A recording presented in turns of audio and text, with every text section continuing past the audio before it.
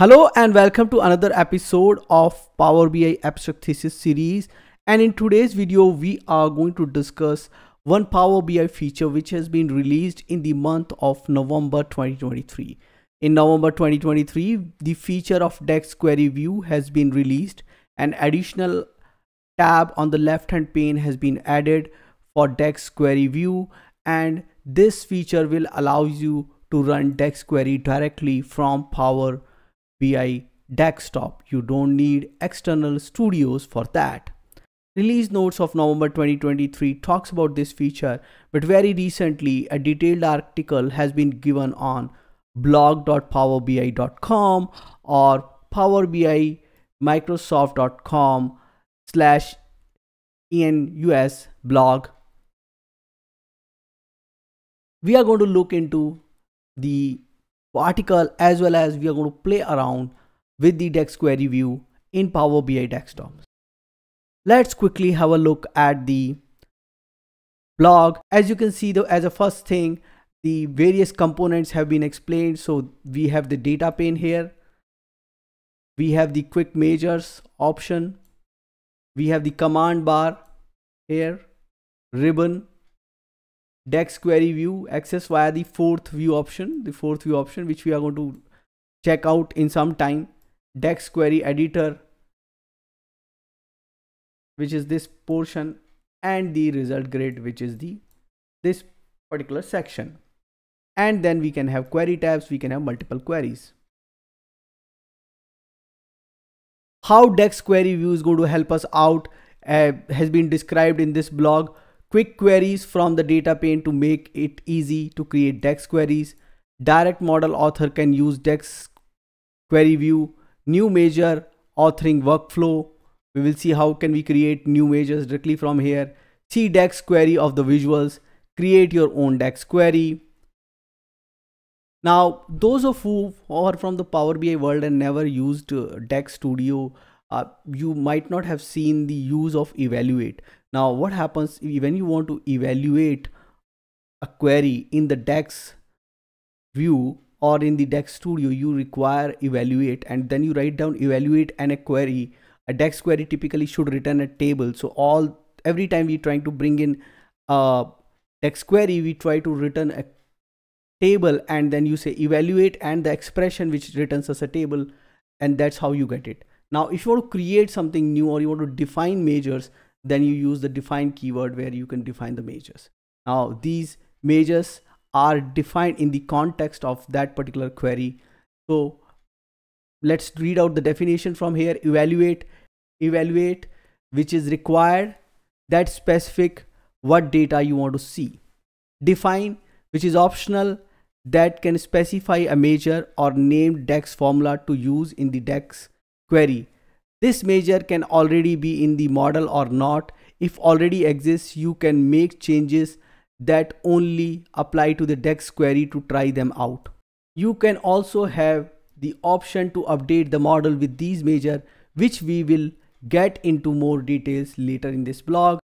So in this blog, they have shown you how can you save the changes in the measure and we are going to experiment with that also when we are going to take the practical examples.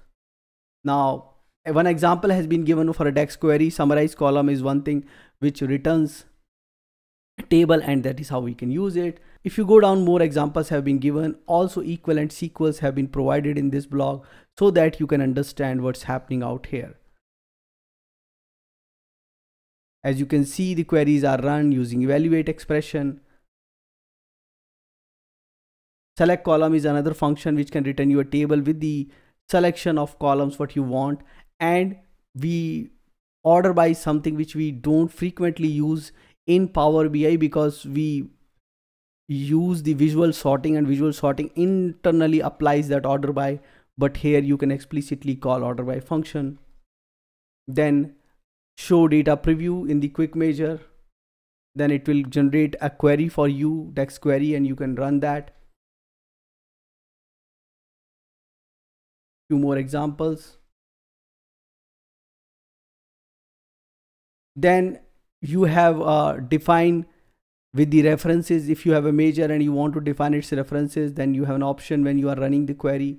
You can see that references has been defined. You can change the definition a little bit while uh, doing uh, the evaluation of that particular uh, major. In the DAX view so as you can see some of the majors have been changed and it is asking do you want to update or override those majors I may or may not want that. I'm just experimenting it here by changing it, what would happen. So you have a place where you can experiment how your different majors or different combination of the definition is going to result in the data. And then a few more things have been explained here. What I'm going to do here is I'm going to give you this link and now time has come that we should jump onto the Power BI desktop. So I am here on my Power BI desktop. So first of all, let me tell you how you can enable this feature. To enable this feature, go to File, Options and Setting, Options.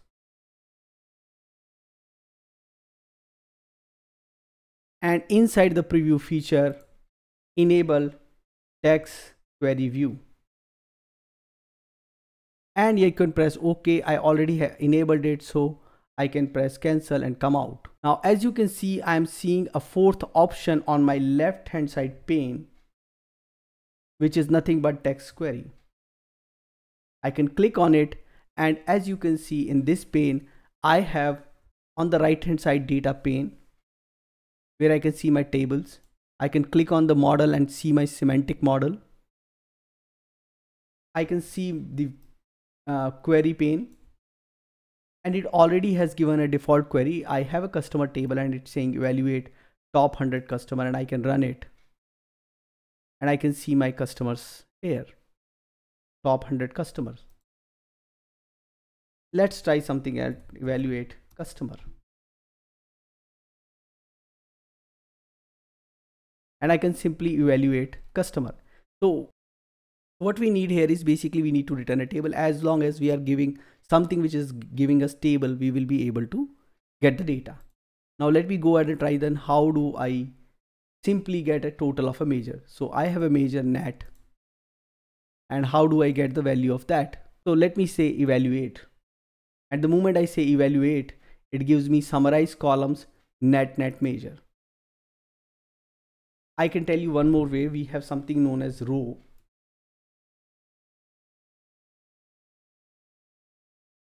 and you can run with the row also. So row function also you can use. In the row you can give major what i can do here is i can go ahead and write down one more which is gross and gross major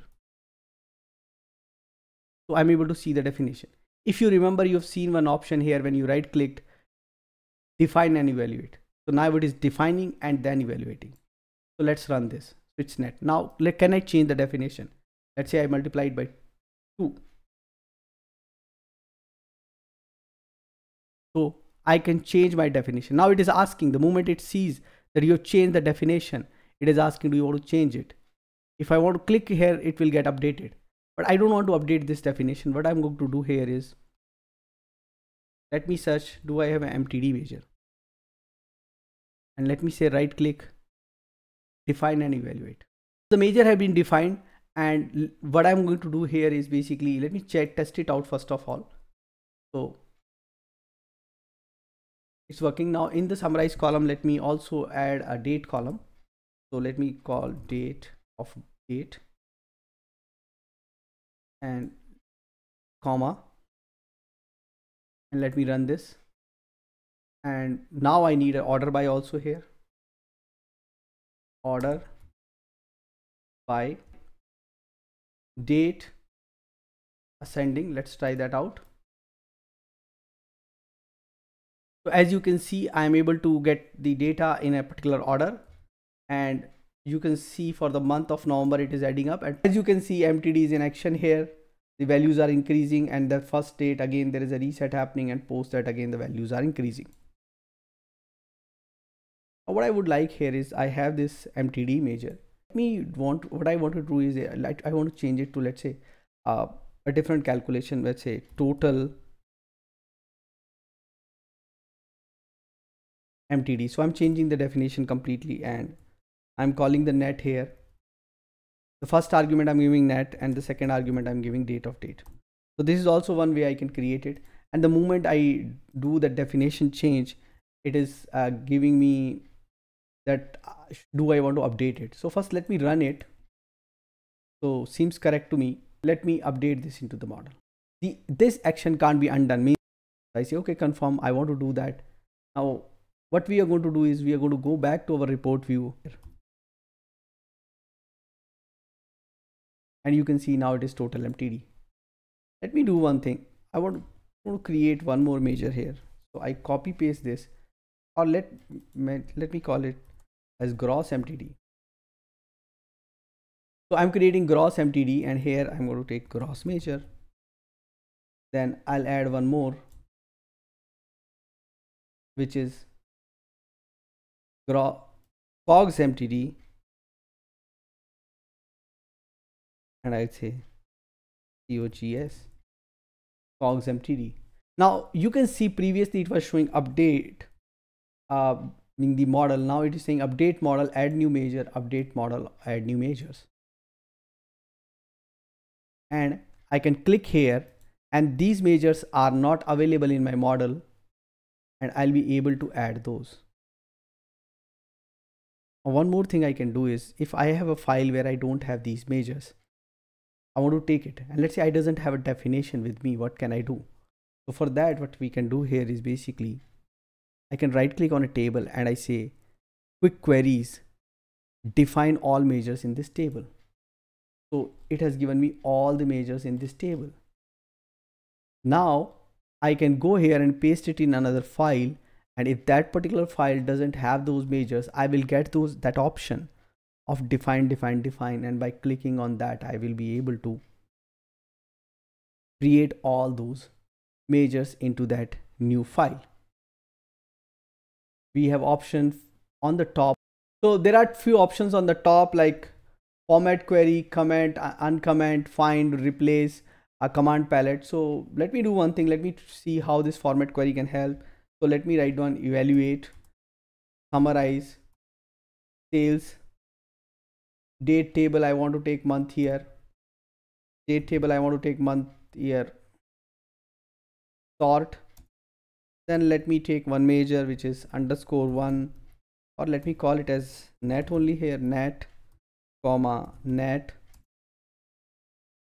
gross renaming and then the gross major.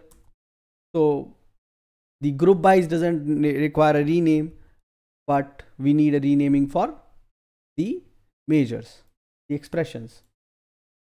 So I'm getting my value. Now I'll go and use this. Shift alt shift F or I can click alt shift F. And as you can see the query got formatted in a better shape. And in this manner you can create formatted query. Let me say comment the entire query get commented. Let me use uncomment. The entire query got uncommented. I want to find out do i have date somewhere in this query as you can see it got highlighted. And then i can find out where the occurrences are. So let's run few more queries. Let's use summarize columns. Summarize columns and we say date month month year comma date month year sort comma net net order. By month year sort and let's run this query. We can also run select columns evaluate select columns and we need to give a table name so we say sales. And after that let me give a new name. Let's say me call give a name city and and I'll bring in sales city ID let me give a name gross and bring in sales gross amount I just wanted to select couple of columns and let me select and evaluate. I'm able to do that. So this one is not grouping. It's just a select column. It doesn't have a grouping. So all those various uh, complex stuff which you have seen in the past, you can go ahead and try that out. One more thing which I would like to try is basically whenever we create a visual. So if I go ahead and create a visual, Power BI is also generating a DAX. So if you go to the view and enable the performance analyzer, you will be able to see the DAX query. We would like to get that DAX query and experiment with that. So let me create a table visual out here. I'll go to date. I'll put in month here. And along with month here, I will use net gross